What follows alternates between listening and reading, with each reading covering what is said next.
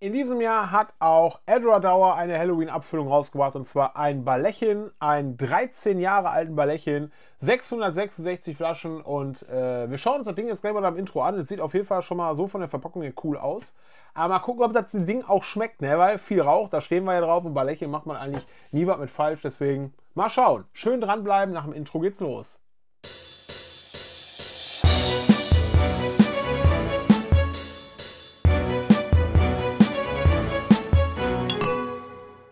Willkommen bei Friendly Mr. Z. Ich bin heute wieder bei Edwardau unterwegs, hab für euch ein Ballettchen und zwar einen 13 Jahre alten, der exklusiv für Halloween abgefüllt worden ist. Davon gibt es insgesamt äh, 666 Flaschen, oh, wer hätte es gedacht, abgefüllt mit 46,6% und ähm, preislich liegen wir hier bei 84,90 Euro UVP, also so um den Dreh. Und ihr seht schon, sehr hell das Ding und äh, bin sehr gespannt. Das nennt sich übrigens hier, ich halte mal ein bisschen näher ran, Trick or Pete. 13 Jahre alt. Für Halloween 2024 mal schauen. Mal schauen, was das Ding kann. Ist auf jeden Fall jetzt nicht ganz so Marketingopfer äh, wie andere Bulls, die dieses Jahr zu Halloween rausgekommen sind. Aber wir schauen mal. Wir schauen mal, ob uns der geschmacklich gleich zusagt und ob das ein guter Kauf ist oder nicht. Ich finde auf jeden Fall krass hell. Wer übrigens nicht weiß, was Balechin ist, oder, oder Balechin oder Balachin oder was weiß ich, wie man richtig ausspricht, ähm, das ist ein stark rauchiger äh, Whisky von der Edwardauer Brennerei. Äh, wird mit 50 ppm, glaube ich, hergestellt, wenn ich das noch richtig im Kopf habe. Ähm, ja, gibt richtig geile Abfüllungen davon, muss man wirklich sagen. Also der 19 Jahre alte Manzanilla, das ist ein Gedicht, muss man wirklich sagen. Absoluter Hammer. Kostet zwar 200 Euro die Flasche, aber das ist ein richtiges Brett. Deswegen, wir schauen mal, es gibt ja von von äh, auch eine Standardabfüllung, 10 Jahre alt, kostet keine Ahnung wie viel, 40 Euro, keine 50 Euro. Und der hat auch 46 Prozent. Warum soll ich dann für drei Jahre mehr? Ne? Ihr wisst, was ich meine. Ihr, ihr, wisst, worauf ich hinaus will. Deswegen, da muss ja schon eine ganz besondere Abfüllung hier sein. Steht hier überhaupt bei, welche Fässer das sind? Das kann man echt schlecht lesen. Ne?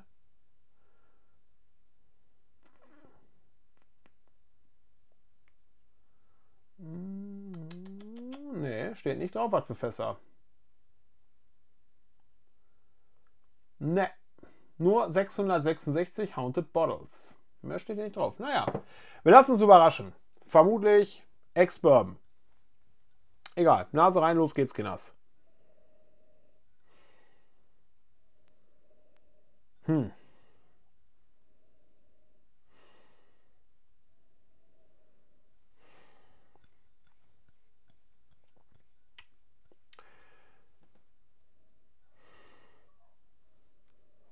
Ich habe jetzt leider gerade keinen Vergleich da, aber ich würde jetzt schon mal so pro forma sagen, erinnert mich auch sehr an den Standardzähler. Der hat so eine, so eine leichte jodhaltige Ananas, würde ich sagen.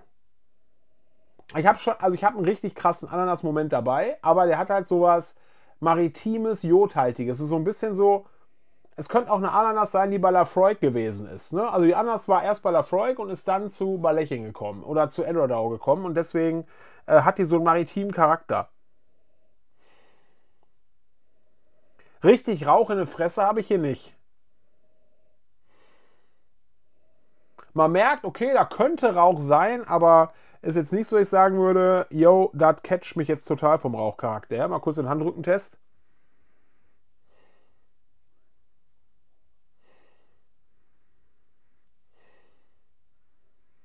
Ja, auf dem Handrücken würde ich jetzt schon fast behaupten, hasse auf jeden Fall Rauch, aber auch nicht so intensiv.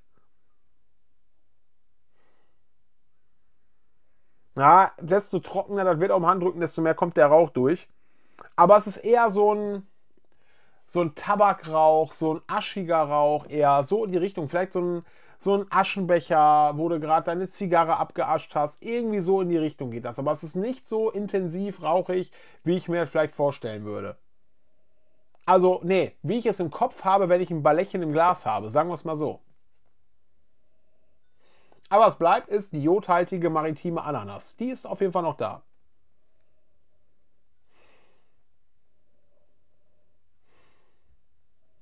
Sehr maritim, finde ich den. Wirklich könnte ein Eiler Whisky sein, eigentlich. Von, von der Nase schon bald.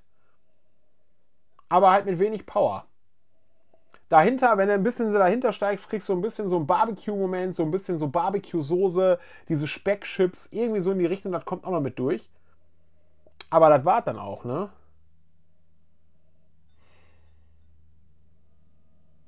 Also viel mehr passiert da eigentlich auch nicht. Naja. Es hilft ja nichts, ne? Also, auf euch hier. Happy Halloween. Skullkinders.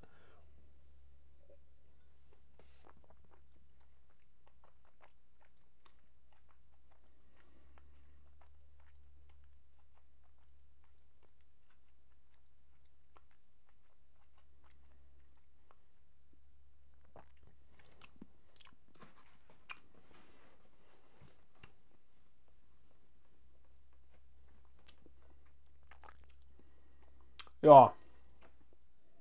Schmeckt auch wie der Zehner. Ja, ganz ehrlich, also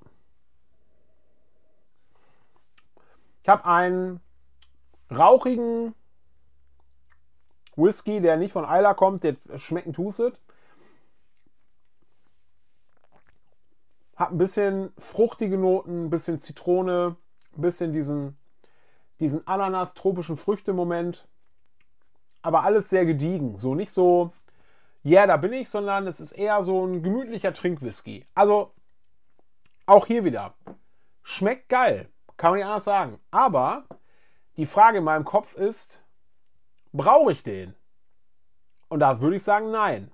Ich würde sagen, kauf dir lieber den Standard-Zehner. Der kostet auf jeden Fall weniger und da hast du ein sehr ähnliches Profil. Ich finde, ich merke hier keinen krass großen Unterschied.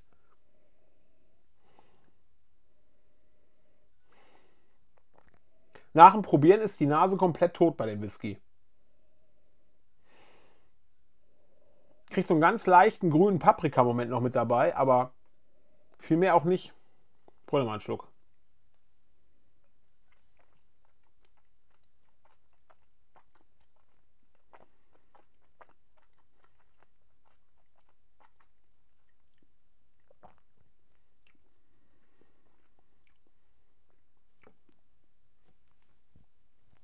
Ja, wie gesagt, ist okay, schmeckt angenehmer, rauchiger Whisky, aber ganz ehrlich, so eine Halloween Edition braucht man meiner Meinung nach nicht zwingend. Ich würde sagen, wenn du dir den 10er Standard oder die, generell den Standard Ballechen holst, bist du damit auch gut bedient. Wenn du aber die Flasche geil findest und so ein Marketingopfer wie Friendly Mr. Z bist, hallo, dann würde ich sagen, kann man sich die Flasche auf jeden Fall mitnehmen äh, wenn man die dekorativ schön ins Regal stellen will. Vor allem mit der Dose, die sieht ja auch noch so aus. Ne? Also guckt hier mit der Dose. Aber würde ich jetzt sagen, muss ich 35 Euro oder 40 Euro mehr für die Bulle ausgeben? Der Meinung bin ich, muss man nicht. Also von daher, wie gesagt, schmeckt lecker, kann man nichts mit falsch machen, ist okay, aber ist für mich auch so eine Bulle, die man einfach nicht braucht. Außer, wie gesagt, du willst oder du sammelst Edward Dauer oder du brauchst einfach eine coole Halloween-Flasche, die cool im Regal aussieht und die man einfach easy sippen kann. Denn dafür ist der super. Kann ich eigentlich anders sagen.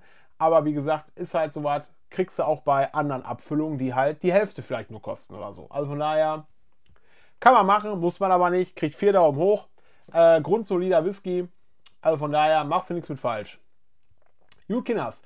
Falls ihr da Dinge hier schon im Glas hattet und probiert habt, Feedback gerne in die Kommentare, Like da lassen und beim nächsten Mal wieder einschalten, wenn ich hier wieder Whisky für euch verkoste. Bis dahin, euer Friendly Mr. Z.